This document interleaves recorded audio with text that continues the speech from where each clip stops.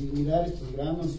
Esto me recuerda a mi tierra, cuando yo era niño, ¿no? Eh, mis abuelitos tenían justamente lo que yo veo aquí.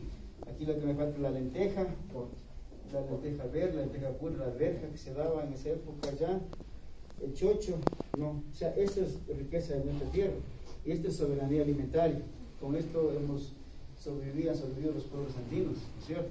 Entonces, esto es lo que tenemos y es lo que ahora nos sustenta nuestra economía y ahora queremos mejorar a través de este, de este proceso de comercialización, mejorar nuestros, nuestros ingresos familiares.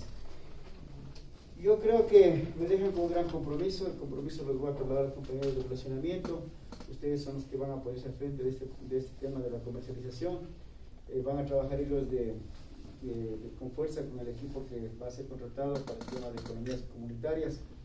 De mi parte siempre estaré acompañado, yo lo he dicho con mayor razón, ¿no? estén atentos a las invitaciones, a las reuniones que, que vamos a convocar para que ustedes sean el primer grupo que esté considerado en este compromiso que tenemos con el banco. Eso es todo lo que.